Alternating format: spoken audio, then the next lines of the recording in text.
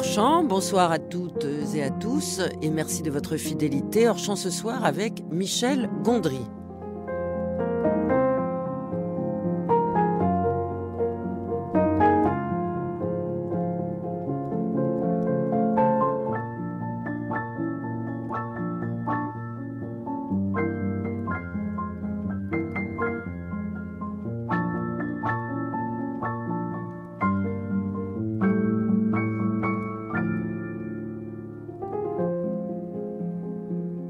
Quoi ressemble votre cerveau, Michel Gondry?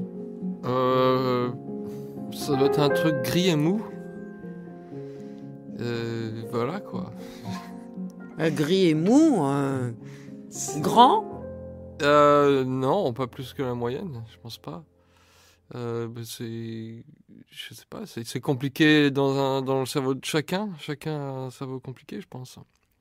Parce que quand on voit vos films, on se dit que c'est une obsession, les cerveaux. Il y en a dans pratiquement tous vos films. On parle de cerveau, mais on les voit aussi. On Euh. voit l'imagerie du cerveau. Ah ouais, bah, disons que c'est là que tout se passe. euh, Enfin, c'est la pensée, c'est les sentiments. euh, bah, c'est les choses qui m'intéressent. Ce qui se passe à l'intérieur de la tête. Et vous avez fait des études scientifiques ou pas du tout? Non, non, je m'intéresse à la science, mais j'ai pas. Malheureusement, j'ai pas fait euh, d'études scientifiques poussées du tout. J'ai viré euh, dans des études artistiques assez tôt. Donc les études artistiques, c'était d'abord euh, de la tapisserie. Oui, ça, c'était pas que d'a- d'avoir la tapisserie. J'avais trois sujets pour le, le bac technique. Soit sculpture, soit publicité, soit tapisserie. Et, la publicité, à l'époque, ça consistait à peindre des aplats à la gouache avec des lettres. Et euh, voilà, tapisserie, il fallait faire, c'est de la tapisserie en haute lisse. Ah, C'est-à-dire que le, le- ben, le métier est vertical. Et en fait, on, on- on faisait les maquettes des tapisseries comme de la peinture. C'est ce qui se rapprochait le plus de la peinture. C'est pour ça que j'ai choisi ça. Ça vous a plu? Ça a été. En fait, j'étais le seul garçon dans un groupe de filles, ce qui n'était pas désagréable. Mais c'était pas pour vous déplaire et c'est ainsi que vous êtes euh, rentré aussi à l'intérieur des études d'art appliqué.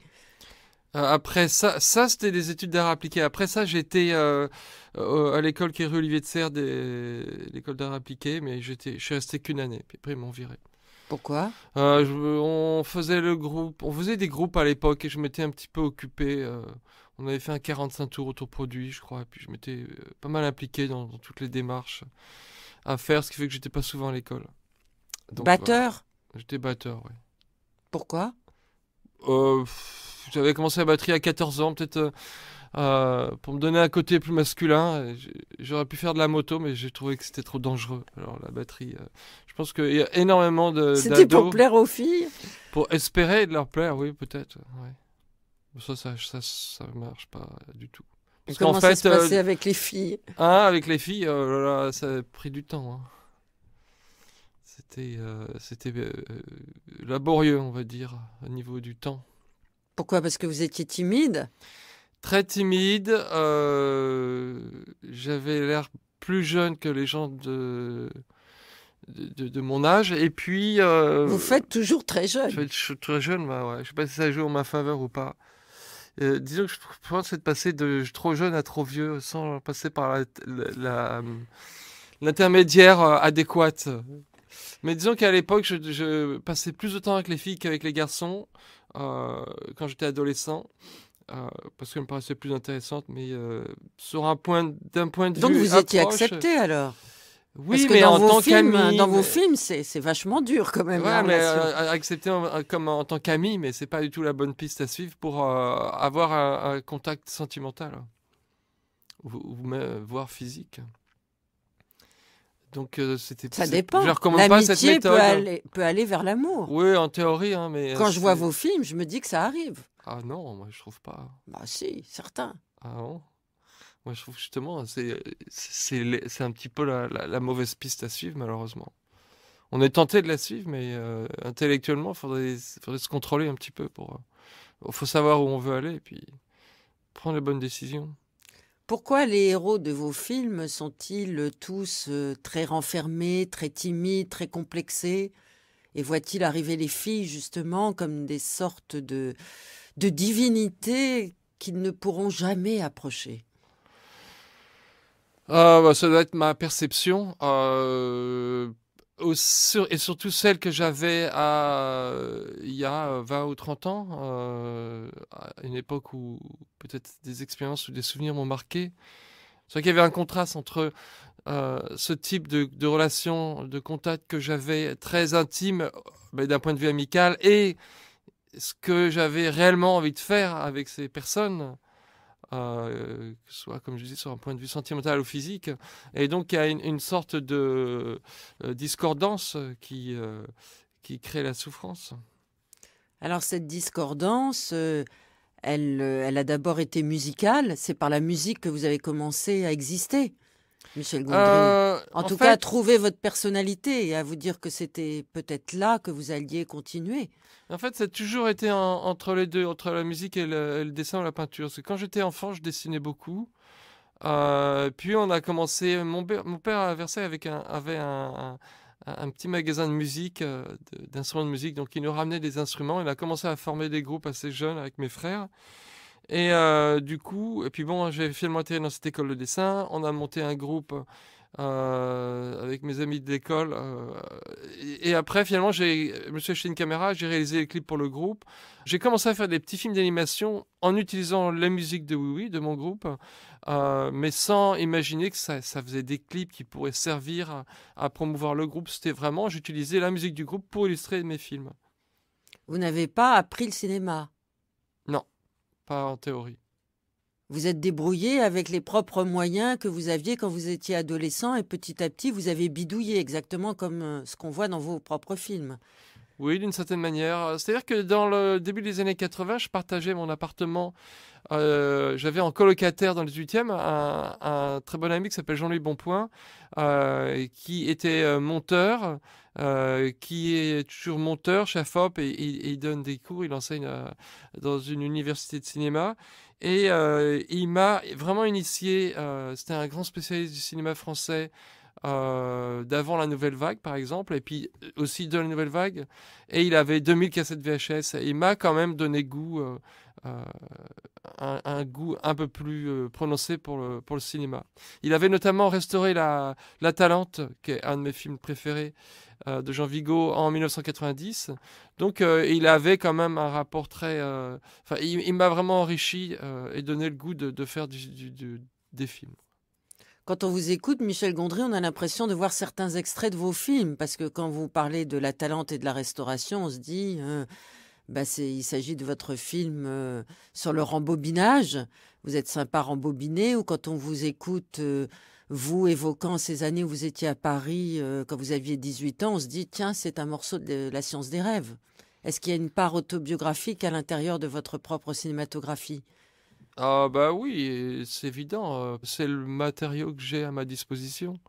Maintenant, je pense pas qu'il y ait un système qui fasse que, euh, euh, en, projetant ces images à l'extérieur de moi, ça, m'apaise ça me donne des solutions. Des, je, me vois un petit peu de l'extérieur en regardant mes films parfois et je, me sens un peu gêné, quoi, par exemple. Mais je pense pas, enfin, disons que je, par exemple, je crois pas à la psychanalyse et, au fait de ressasser euh, euh, ces souvenirs comme une méthode euh, de guérison. Je, pense que c'est pour moi un moyen de, de faire des films, mais voilà, ça s'arrête là. On a l'impression que votre histoire ressemble à un conte de fées, que vous étiez un adolescent pas très sûr de vous, que vous faites partie donc de ce groupe euh, Oui Oui, et puis tout d'un coup, euh, des personnes qui n'étaient pas encore connues, comme Björk, font appel à vous. Comment et pourquoi? Alors, euh, avec Björk, j'avais commencé, j'avais, je crois que j'avais déjà fait six clips où il y en avait trois qui étaient vraiment très, euh, très intimes et euh, minimalistes, et trois où on avait un contrat avec une maison de disques, donc on avait eu un peu plus de sous. Mais comment, comment on fait pour rencontrer Björk quand on s'appelle Michel Gondry et qu'on ben, connaît personne? J'y viens. Elle, elle faisait sa, la promotion de sa, la première chanson de son premier album solo donc Human euh, Behavior, et euh, elle a regardé des dizaines et des dizaines de cassettes, et elle est tombée sur une cassette euh, de VHS, bien sûr, de, mon travail, et elle a vu ce clip de Oui Oui, qui, s'appelait La Ville, qui était un des derniers qu'on avait fait. et alors elle a demandé à me rencontrer, et puis là je lui ai montré les clips que j'avais fait avant, qui étaient encore plus minimalistes, et là elle est elle était morte de rire. Quoi. C'était la première personne que j'ai rencontrée qui a vraiment apprécié ces petits films et qui a vu euh, leur, humour et qui a vu mon potentiel. donc à partir de là, on, a sympathisé, on a vu qu'on avait beaucoup de goûts en commun, une, sorte d'éducation euh, assez similaire finalement. Euh, et puis, on, bah, voilà, on a fait sept clips ensemble, puisque le dernier, ça fait deux ans qu'on a fini le dernier. puis, ça va continuer. oui, j'espère. Ben, on écoute Björk, euh, votre clip Bachelorette.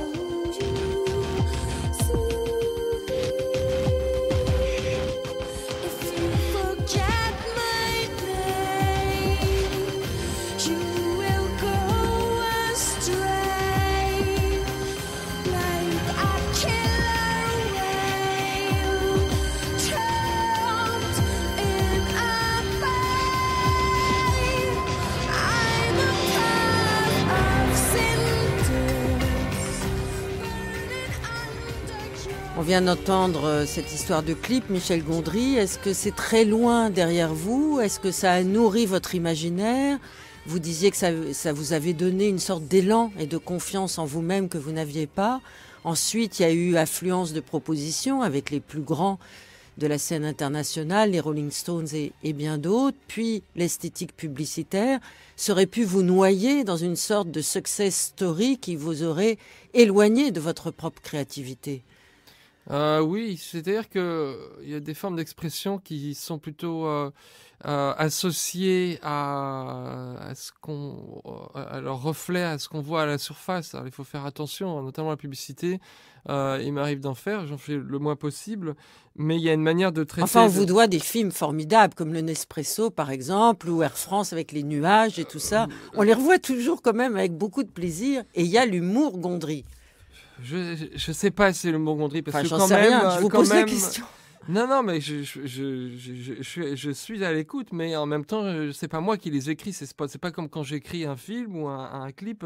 Mais ce que je veux dire, c'est que la, publicité, en, en un temps euh, très très court, on doit raconter plein de choses. Donc, euh, il y a une manière de, de, de, simplifier, de stéréotyper, euh, qui est assez dangereuse. Donc, il faut, il faut en avoir conscience pour pas se laisser imprégner trop par cette méthode d'expression. Alors les clips, c'est quand même différent parce que les clips, il y a un travail plus en notamment par exemple avec Björk, où là, on, on, mélange nos deux univers. Moi, j'essaye de, plonger dans, dans l'univers que la chanson démarre et étendre cet univers avec, euh, euh, avec mon travail. Euh, donc, a un travail plus en profondeur.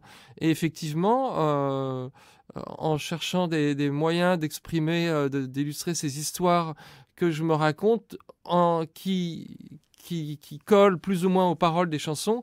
J'ai euh, développé des méthodes euh, de, fabrication d'images que j'utilise aussi pour les films. Donc j'ai développé quand même mon imaginaire à travers ça. Mais je dirais quand même plus à travers les clips ou les courts-métrages que, que la publicité. Est-ce que votre côté artisanal vous a encouragé à pratiquer euh, l'innovation? Car vous innovez beaucoup. Euh, dans euh, justement la cohabitation d'images qui viennent à l'intérieur de plans euh, de, de, cinéma. Vous, vous inventez un style, vous, vous inventez une cohabitation d'images et vous inventez aussi des images. Est-ce que ça vient au départ de ce manque de moyens qui vous aurait poussé à, à, à une créativité démesurée? Ça va dans les deux sens. Je pense que j'avais une envie d'inventer et de, fabriquer, fabriquer des systèmes ou des choses qui, qui aient des fonctions euh, inédites, on va dire. Et euh, cette envie de fabriquer ces choses euh, m'a obligé à travailler avec des moyens limités.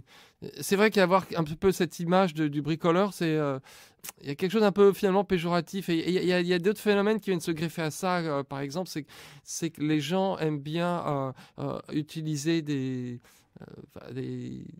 pas des raccourcis forcément, mais euh, pour, pour définir qui je suis, ils, me mettent une étiquette, c'est comme, comme pour tout le monde. Euh, donc euh, je me sens parfois un petit peu coincé avec cette image de bricoleur. Mais le, manque de moyens m'a permis effectivement de, de, trouver des méthodes qui m'étaient propres pour fabriquer mes images. Et finalement, j'ai peut-être une sorte de naïveté qui fait que ça pas les choses n'ont pas besoin d'être trop réalistes pour pouvoir représenter ce que je ressens. Alors, où est votre merveilleux? Comment pouvez-vous nous le restituer? Prenons un plan, puisqu'on dit que vous dites qu'on vous on vous simplifie. C'est vrai que votre cinéma est très compliqué quand on le revoit. Prenons un plan particulier. Euh, sorti de Eternal Sunshine, The Spotless Mine. Euh, pardon pour mon anglais. Euh, ce plan où on voit donc le couple de l'assistant du médecin avec sa petite amie et votre héros qui est sur le lit, et puis tout d'un coup le système d'effacement de la mémoire commence à déconner grave, ils s'arrêtent de danser, ils vont appeler le chef médecin, et à ce moment-là apparaissent des personnages dans le plan que vous filmez. Comment l'avez-vous construit ce plan-là? Oh là là, j'arrive pas à voir quel plan c'est. Euh, ils appellent. Bah, ils dansent. Ah oui, oui, oui, c'est-à-dire que. Ils sont très euh, contents. Elle, elle a beaucoup fumé, elle est un peu partie. Ah, ouais, ouais. Alors, donc, Jim et euh, le personnage de Jim, Joel, il, il est dans, sa, dans, sa, dans son souvenir qui est en train de s'effacer avec Kate Winslet et il entend les voix euh, de, des, des, opérateurs, donc Mark Ruffalo et euh, Elijah Wood, euh, qui apparaissent à la place de Kate Winslet. Alors, bah, on faisait un petit jeu de cache-cache parce que l'espace, il y avait le coin cuisine, le coin salon avec une petite claustra entre les deux. Et euh, la caméra faisait apparaître un personnage puis en se déplaçant c'en était un autre. On faisait vraiment des jeux de cache-cache pour, pour les trucages. J'avais aussi ce, système où, euh, où euh, il, il, courait après Kate Winslet et à chaque fois qu'elle il la suivait puis elle se retrouvait dans une autre pièce finalement. On avait fait tout un, un plan séquence où elle passait par une petite trappe qui était dans la salle de bain qui, re, qui communiquait avec la cuisine et donc elle réapparaissait dans la cuisine. Et puis on la revoyait passer par la porte juste après, on avait un, double de Kate et la vraie Kate, euh, bon, qui était évidemment habillée pareil, et ce qui faisait qu'en déplaçant, la caméra, on en voyait une, puis on voyait l'autre euh, sans transition. Je, me souviens que pour donner un côté un petit peu euh, viscéral, organique à ces effets de multiplication euh, de, personnes ou de disparition euh, d'objets dans l'espace. On, faisait les choses dans la caméra avec des systèmes un petit peu de disparition comme, comme au théâtre, à tiroir où on, fait glisser les choses, on ouvre des portes, on fait sortir les objets, on referme les portes, etc. Et d'où vous est venue cette idée merveilleuse de penser et de concrétiser dans ce film, en tout cas, euh, la possibilité qu'on puisse effacer de notre mémoire euh, des souvenirs trop douloureux J'ai un ami qui s'appelle Pierre Bismuth, euh, qui est artiste contemporain, dont j'aime beaucoup le travail, et on se suit depuis 20 à 30 ans, on est, très amis, et on échange souvent des concepts. On avait fait, j'ai fait le clip de Jean-François Cohen en collaboration avec lui, avec des concepts qu'il avait. et en l'occurrence, un jour, on, dînait, il, il m'a suggéré une idée d'un concept qu'il voulait euh, essayer, c'est-à-dire il voulait envoyer des cartes aux gens avec simplement une phrase toute simple écrite dessus. Euh, Marie-Christine vous a effacé de sa mémoire, merci de ne pas essayer de la contacter. Et euh, il voulait envoyer ça à différentes personnes pour voir un petit peu comment euh, les choses réagiraient. Et moi, à partir de là, j'ai, euh, je me suis dit, bah, c'est vraiment un, sujet de film qui, qui, qui, serait euh, vraiment, vraiment fort. Et on a écrit une petite page d'une histoire de quelqu'un qui s'aperçoit que sa copine l'a effacée. Il essaye de la retrouver, elle ne le reconnaît pas. du coup, il veut faire la même chose, l'effacer. Et puis, en cours, comme dans souvent ces films un petit peu d'espionnage, en cours de procédure, il change d'avis, mais c'est trop tard. Euh, et puis on a rencontré Charlie Kaufman et il nous a écrit ce scénario qui était quand même excellent et qui nous a valu d'avoir un Oscar tous les trois. C'est quand même assez chouette. Alors à propos de scénario, quand on revoit avec beaucoup de plaisir Eternal Sunshine of the Spotless Mind, on, se dit que tout le début du film est scénaristiquement très très serré. Et puis au, au fur et à mesure que on rentre dans votre univers, finalement, les oripeaux du scénario euh, s'envolent pour laisser place à votre propre univers visuel. Pourquoi? Euh, bah, il y avait un principe euh, assez compliqué à faire comprendre et puis on était on, était à la fois dans la tête de Jim Carrey et on voyait ce qui se passait autour. Il y avait deux périodes à, à exposer. Il y avait l'effacement et après l'effacement quand il re-rencontre Kate Winslet. Même comme ça à, le décrire maintenant j'ai comme comme je me c'est vraiment que je l'ai pas regardé et, euh, je me souviens un petit peu de toutes les étapes de montage où on a inversé les choses. D'ailleurs on a utilisé le générique à 10 minutes du début parce qu'il nous fallait il nous fallait une rupture et on a utilisé cette méthode de mettre le générique assez tard pour nous permettre de faire une rupture pour passer de, euh, du présent au passé d'une certaine manière. Et au bout d'un moment, quand on, on, est vraiment dans le cœur de leur relation, euh, là, euh, je me suis plus amusé, on a plus improvisé, il y, avait plus d'intimité euh, entre Jim Carrey et Kate enfin entre le personnage. Et puis les transitions, bah, je me suis un peu fait plaisir aussi hein, avec des, systèmes un petit peu simples, des images tournées à l'envers, et puis en évitant la post-production digitale, parce que pour ce type de transitions qui sont un petit peu mentales, euh, ou, sentimentale, euh, je trouve que les effets plutôt euh, de type de théâtre ou de que l'on fabrique sur le tournage sont plus organiques que ce qu'on fait en, post-production. Alors justement, dans ce film et dans d'autres aussi, on voit des personnages qui rétrécissent parce qu'ils se retrouvent en enfance, on voit des effets visuels tout à fait extraordinaires. Est-ce que c'est très compliqué? Est-ce que vous êtes d'accord quand certains disent de vous que vous êtes l'arrière-petit-fils de Méliès? Ah bah, ça fait plaisir, évidemment. Euh, Méliès, c'est un, c'est quelqu'un de, très très important pour moi et puis pour beaucoup, hein, même si vous demandez à Spielberg et, enfin tous les réalisateurs qui font de la fiction ou de la science-fiction, ça accorde à dire que c'est lui qui a inventé. Euh, il a inventé la fiction au cinéma, de toute manière. C'était un magicien, il, a assisté aux premières projections des Frères Lumière. Il, a, il a voulu leur acheter une caméra, mais ils n'ont pas voulu, et donc il en a fait fabriquer une pour pouvoir améliorer ses tours de magie. Et puis finalement, c'est en mélangeant la magie et le cinéma qu'il a inventé la, fiction et puis la science-fiction. Nous allons écouter la voix de Roberto Rossellini. Il va parler du cinéma expérimental et de la notion de progrès. je pense qu'il faudrait être attentif et ne pas déplacer le débat, que ce soit un débat entre nous de cette génération envers la génération nouvelle. Moi, je crois que toutes les expériences nouvelles sont les bienvenues. Puisque c'est un fait réel, et ça nous pouvons le constater, nous sommes du métier, et nous pouvons le constater, que surtout à cause des films qui étaient faits avec un propos strictement commercial, de succès commercial en succès commercial, on est arrivé à la crise du cinéma. Et moi, je voudrais dire mon point de vue. C'est un point de vue parmi les autres. Comme disait justement euh, Mann, en Amérique, le cinéma est surtout ça. Bon, mais il faut alors rappeler que dans n'importe quelle industrie, il y a toujours une section qui est très coûteuse dans laquelle on fait des expériences. Il n'y a pas d'industrie qui vit éternellement sur un produit. Il a toujours une section de recherche pour laquelle le produit doit se renouveler ou même changer complètement.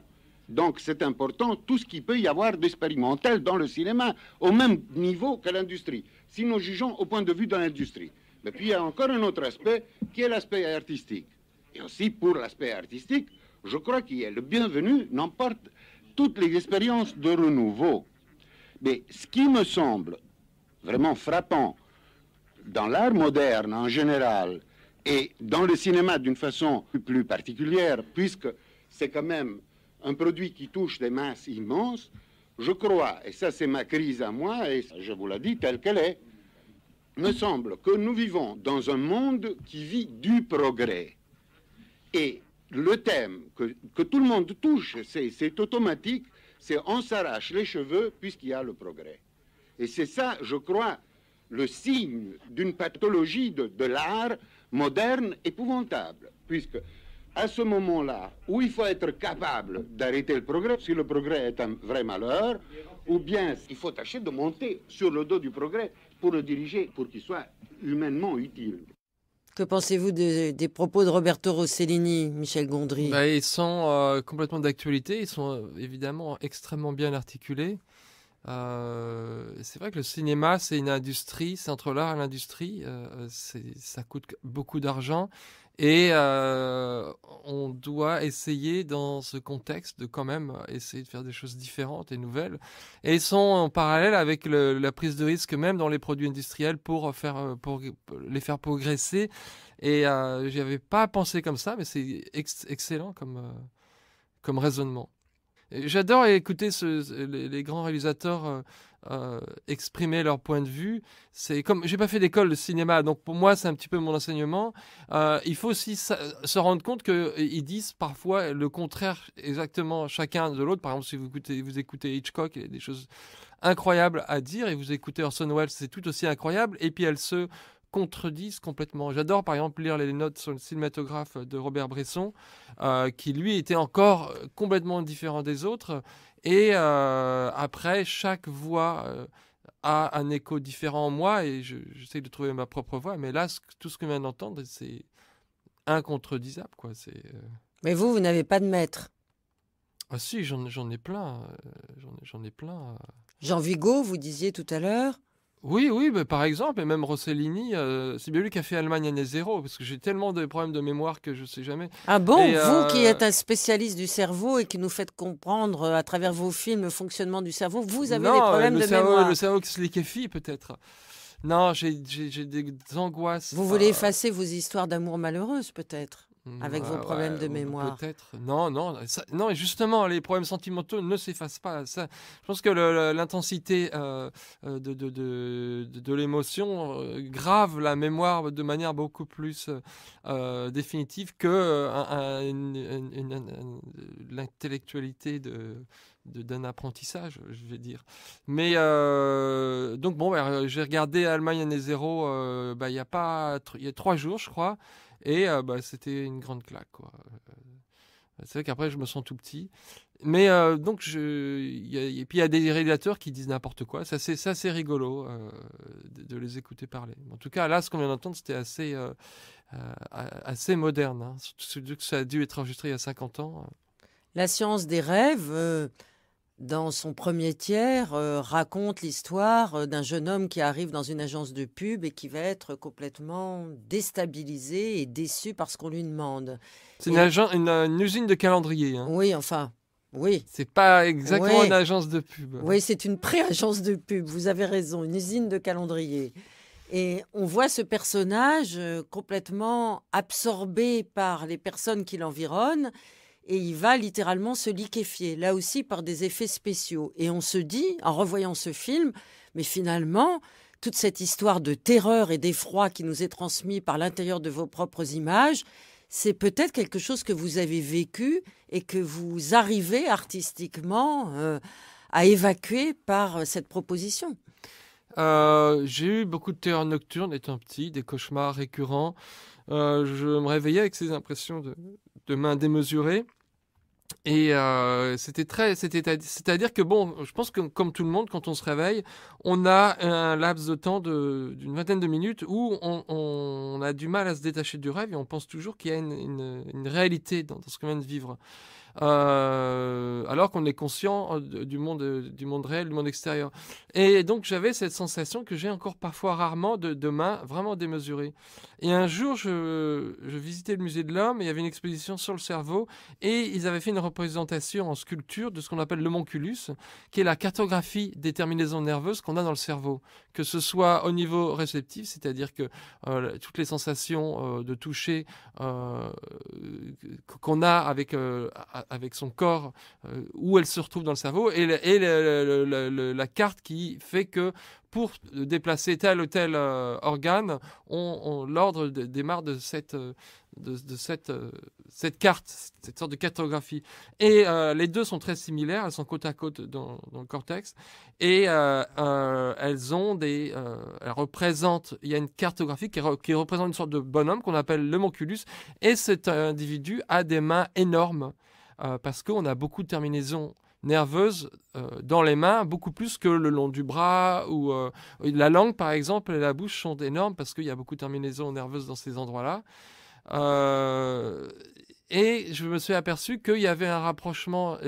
donc cette sculpture avec les grosses mains est exactement euh, la même proportion, avait la même proportion de mains que ce que je, je ressentais et donc ce que j'ai utilisé euh, dans la science des rêves. Et je pense qu'il y, a, y a une corrélation là entre l'espèce de. Il y en a qui me parlaient de schéma corporel. Euh, moi, j'avais l'impression que ben voilà, ce que je ressentais dans mes mains, par exemple, ne rentrait pas dans, les, dans le volume de mes mains. Donc voilà, ça c'est un exemple précis de, de, choses que j'ai vraiment ressorti, ressenti étant enfant.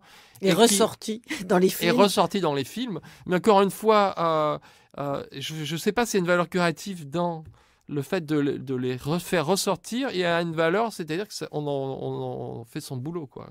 Et il y a certaines personnes qui peuvent s'y retrouver et être intéressées. Donc, du, de ce fait, on ne fait pas des images complètement euh, qui ne sont pas vues, elles sont vues par des gens. Donc, euh, donc ça sert à quelque chose. Mais je ne sais pas si, au point de vue personnel, ça.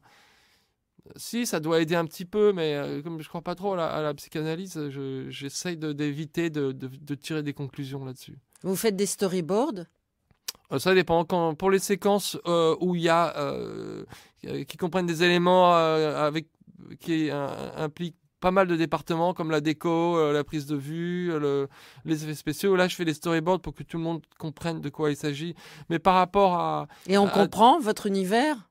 Les équipes bah, techniques qui travaillent pour vous Oui, oui, oui. Mais ce que je voulais dire par rapport au storyboard, c'est que je fais, je fais pas pendant tous les films. Pour mon premier film, Human Nature, je fais trop de storyboards, ça a un peu bloqué les acteurs. Et après, pour Eternal Sunshine, je me suis vraiment appris à limiter les storyboards que pour les articulations qui étaient un peu techniques.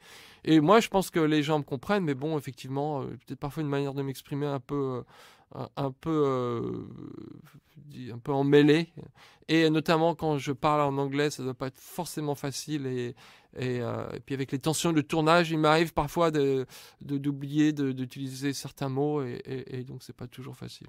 Vous êtes un drôle de cinéaste, Michel Gondry, parce que vous faites des films à gros budget mais aussi des films euh, très légers. Le dernier qui vient de sortir, qui est remarquable, qui s'intitule Conversation avec Noam Chomsky, ça a dû coûter pas grand-chose. Euh, non, j'ai commencé, je l'ai fait tout seul au départ parce que euh, voilà, j'ai eu la chance de rencontrer euh, le professeur Noam Chomsky, d'avoir des conversations avec lui, d'en enregistrer certaines, et je me suis dit tiens, je vais, je vais faire un film animé à, partir de, de, ces, pardon, de ces conversations. Et j'avais envie de commencer tout de suite sans avoir à faire des dossiers, à essayer de convaincre tel producteur ou tel euh, distributeur que euh, ça valait le coup d'essayer. voilà, ce que je pense, c'est qu'il y a des idées qui sont comme assez fragiles, qui, si on peut démarrer ses idées avant de devoir convaincre des, parties extérieures euh, que ces idées valent, valent la peine d'être essayées. Euh, c'est la seule manière que ces idées, euh, qu'ont ces idées d'exister. Parce que dès l'instant où on doit commencer à convaincre les autres, on, on, se, on perd sa confiance. En tout cas, moi, il pour des idées assez fragiles, il m'arrive de perdre confiance et de me dire, bon, finalement, ils ont raison, ça vaut pas le coup. Là, j'ai commencé à le faire et puis après, petit Ça vous a pris beaucoup de temps? Oui, euh, deux, à trois ans, mais pendant ce temps, je terminais le Frelon Vert, j'ai fait The Wendy j'ai commencé l'écume euh, des jours. Donc c'était euh, en parallèle et un petit peu comme des vacances par rapport aux, autres films que je terminais ou commençais en même temps. On en écoute un extrait. There are memories that I can date because I know where they were. So I can date memories from about a year and a half when I was uh, sitting on a I know where it was, so it had to be a year and a half, where I was sitting on a counter and my uh, my aunt, who my, my parents had jobs, which was unusual. This is the 1930s, so there was a stream of aunts and cousins and others who came through, and there were several aunts who spent time with us. One of them was trying to get me to eat oatmeal, which I didn't want to eat. So I just put it in my cheek and refused to swallow it. And she was trying to figure out how to get me to swallow that oatmeal, but I must have sat there for a long time. I was a stubborn kid. I was not going to eat the oatmeal. I remember that very well, and that had to be at about 16 months or 17 months. And I remember other things from that time. I was in a nursery school. I remember sort of standing there looking around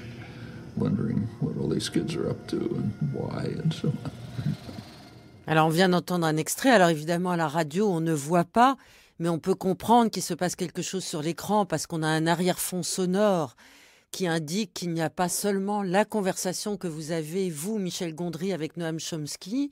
D'ailleurs, c'est incroyable, là, ça correspond cet extrait au début du film où il raconte qu'il a des souvenirs d'enfance très très tôt dans, dans mmh son existence mais ce que vous avez fait, c'est assez incroyable, c'est que vous n'illustrez pas ce qu'il dit, vous êtes avec la personne qui regarde votre film. Donc comment est née cette idée, j'allais dire, d'accompagnement à la fois euh, intellectuel et, psychique? Euh, bah, le, discours de, Chomsky, euh, notamment en linguistique, est, euh, assez euh, dense et complexe. Et, moi, m'intéressait euh, énormément. Et je me suis dit que je vais essayer de, je vais l'interviewer, essayer moi-même de comprendre ce qu'il a à me dire ou à m'enseigner, et je vais illustrer ma compréhension, ma perception euh, plutôt que ce qu'il dit euh, directement. En fait, là, l'exemple est quand même pas exactement représentatif. C'est vrai que c'est le début de l'interview et c'est ma première question, donc son premier souvenir. Et j'ai quand même essayé d'illustrer, bon, avec ma perception, mon style, euh, ce qu'il me raconte avec, on voit ses tantes qui, qui, tournent autour de lui, puis il y en a une qui vient lui essayer de le forcer à manger du porridge. Donc c'est vrai que ça fait il y a un résultat qui est un mélange de moi, mon, de mon inconscient, enfin mon, ma manière de la manière de m'exprimer graphiquement et de lui qui nous dit quelque chose quand même qui est très personnel. Alors au début, quand on l'entend parler, on entend le bruit de la caméra parce que j'avais cette caméra euh, mécanique qui s'appelle une Bolex 16 mm euh, avec laquelle j'ai tourné tous les extraits, les rares extraits euh, où l'on voit Chomsky parler, parce que le reste du temps c'est le dessin animé. Et à chaque fois que je le filmais, donc il apparaissait à, l'écran, on entend cette caméra très bruyante, donc j'ai dû trouver un système pour illustrer en animation cette caméra. Donc on voit la caméra qui se, le visage de quelqu'un qui se transforme par exemple en caméra, la caméra qui devient un projecteur et l'image de Chomsky qui est projetée par l'objectif de ce projecteur. Et puis vous obtenez sa confiance. Petit à petit, oui. Il, vous parle beaucoup de son épouse qui a disparu, de son milieu familial. On comprend mieux le personnage Chomsky qui a été très critiqué dans le monde entier pour ses positions antisionistes. Et là, de par la confiance que vous instaurez avec lui, on comprend mieux ses engagements. On n'y souscrit pas forcément, mais on comprend mieux la personnalité et le rayonnement intellectuel. Ben, on, on- de l'inventeur de la voit son générative. parcours, en- en- no- notamment, bon, il nous parle de son père qui était un, un sioniste euh, euh, dévoué qui a participé à, à- à faire revivre la, la- la langue hébraïque, euh, qui était une langue morte. Euh, et puis, évidemment, on connaît ses positions par rapport à la politique euh, extérieure israélienne. Donc voilà, mais en, France, c'est vrai qu'il y a un petit barrage des intellectuels par rapport à, au, personnage. Euh, et moi, j'ai essayé un petit peu de contourner ce, euh, cette partie de son discours pour me focaliser sur l'aspect scientifique et sur l'aspect personnel, parce que, bon, comme on le voit dans, euh, dans une autre partie assez personnelle, sur son enfance, il a souffert de l'antisémitisme. Il, se faisait courir après par des, des, des, des, Irish, comment on dit, des Irlandais antisémites. Euh, et puis, euh, voilà, on parle même des camps de concentration, etc. Euh, c'est- des termes, si on dit antisioniste, après les gens disent antisémite, antisémite, euh, et puis après on part dans un débat qui, qui notamment en France, est complètement hors de contrôle. Donc moi, je ne m'y sens pas préparé. Euh, je, comprends ses positions par rapport à la politique israélienne, mais je n'irai pas m'engager euh, euh, dans, un débat euh, avec en face de moi un journaliste qui aura des montagnes d'arguments et qui me bombardera avec ça. Moi, je voulais faire ressortir le côté humain parce que c'est quand même un des plus grands activistes euh, mondial. Il a jamais failli à, ses éthiques. Euh, il, se, il se bat, il s'est battu toute sa vie pour les injustices, pour, euh, contre l'hypocrisie que qu'on a dans nos pays, à, penser toujours que nous on fait le bien et que ceux qui sont de, de l'autre camp font le mal. Lui, il veut qu'on regarde ce que nous on fait euh, qui, n'est pas euh, qui, est pas correct et, co- et comment on peut le changer? Parce que si ça vient de nous on, peut le changer. Si ça, ça vient du euh, en Corée du Nord c'est sûr que c'est pas une démocratie mais on peut pas y faire grand chose alors que ce qui se passe aux États-Unis c'est censé être une démocratie et on peut le changer. Donc voilà ça c'est en gros sa sa philosophie politique Vous menez toujours plusieurs projets simultanément. Vous nous parliez de The We and the I qu'on avait pu découvrir en France en 2012, qui se passait dans un bus et qui avait été présenté à Cannes. Et là, je crois savoir que vous êtes euh, en repérage en France pour nous raconter une histoire. Vous pouvez nous en dire plus? Un petit peu, parce que je suis en- encore en, à peine en préparation et c'est pas encore, rien n'est jamais sûr. Donc, euh, je sais pas si ça porte malheur, mais c'est une, histoire d'adolescent qui se passerait euh, euh, entre Versailles, euh, où j'ai grandi, et puis le Morvan, qui est une direction. euh, que c'est deux adolescents qui se fabriquent leur propre véhicule euh, prennent. ben, Merci beaucoup. Merci pour tous vos films. Merci. Donc le dernier qui vient de sortir, euh, Conversation avec Noam Chomsky, mais tous les autres... animée, excusez-moi. Oui, animées. C'est vrai qu'elles sont animées. Elles sont animées, mais Elles c'est sont- un Elles dessin sont animé. animées, mais c'est un, un- voilà encore de l'humour à, à la Gondry. Merci Michel Gondry et tous vos autres films sont disponibles en DVD. Merci à vous.